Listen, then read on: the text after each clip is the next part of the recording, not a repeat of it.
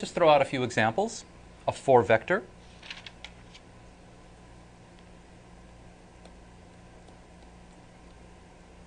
So something like 1, 3, negative 2, 6. Again, we're just talking about a 4 by 1. I could also have written this vector as uh, 1, 3, negative 2, 6. It really doesn't matter. Uh, later on, it will make a difference depending on how we want to arrange it because we're going to be multiplying these things by matrices. So sometimes we want it this way, sometimes we want it this way. Another representation is just regular coordinate representation, x comma y comma z comma so on. So I could also write this as 1, 3, negative 2, 6. They all mean the same thing. It just depends on what it is that you're doing. Okay, uh, a 7 vector. Let's do so again, so you'd have 0, 5, 0, 6, 9, 7, 2, something like that. And again, you can write it as a row, you can write it as a list in coordinate form.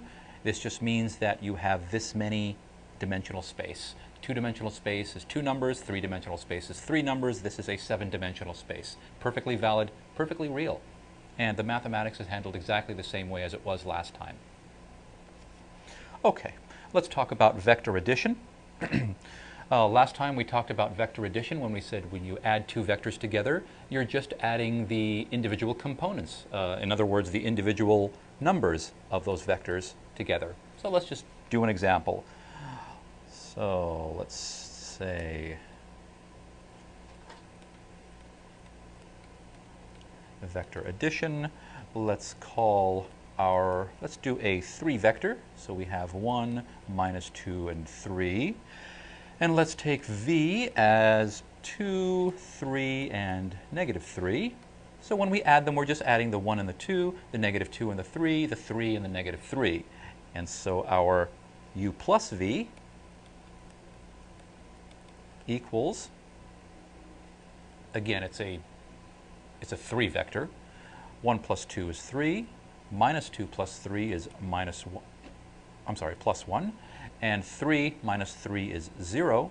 So we have the vector 3, 1, 0. If we do scalar multiplication, when we take a vector and we just multiply by a scalar, a regular number,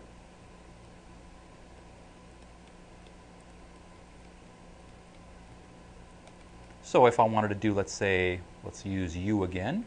If I want to do 5u, well, I just multiply everything in there by 5. 5 times 1 is 5. 5 times negative 2, negative 10. 5 times 3 is 15. So 5u equals, and it's again, it's a 3 vector. Nothing changes. We have 5, negative 10, and 15. So vector addition, scalar multiplication, just like when we did it for vectors in the plane. You just have more numbers.